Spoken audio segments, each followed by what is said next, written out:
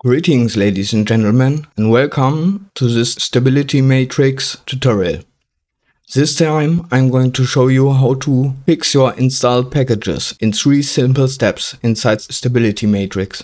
There are many problems which can occur while managing your packages. For example, update related issues which can occur for your package itself or the installed extensions and even a combination of both. I will show you the easiest fix for this without needing special knowledge at programming. So without further ado, let's start.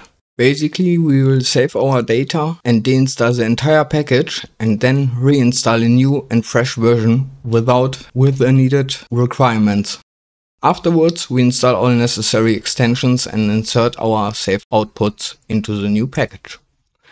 Step 1. Navigate into your Stability Matrix directory and locate your packages folder inside the data folder.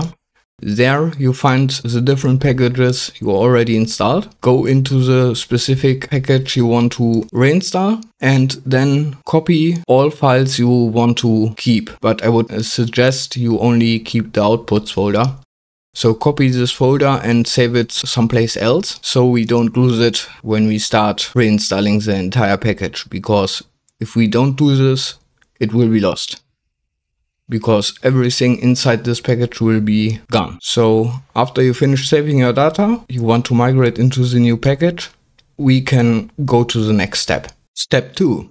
Start up Stability Matrix and deinstall the relevant package in your Packages tab found on the left and wait for it to finish uninstalling. After that, start up the new package with the button down below on the bottom here, Add Package, and choose the package you desire to be installed. Then wait for it to finish installing. Start up the new package and let it install the needed requirements while it's starting up. Adjust the relevant settings and add extensions you want again. Then close the application and we can go to the last step, step 3. Afterwards, you can go in and insert the saved data into the new installed package, for example, the output, so you can access it again. Beware, everything need to be reinstalled which was contained in this package. Since the models are contained in the models folder separate from the packages folder, they won't be touched when you deinstall your old package. But all, everything inside the specific package will be lost for example, ControlNet models or config data. So if you really know what you are doing, you can also save those data with your outputs before reinstalling the new package. But I wouldn't suggest it because that can also lead to other problems again. Hopefully this was useful for you and if you liked it, consider showing your support by hitting the like button and subscribing for future content. Thank you very much for watching.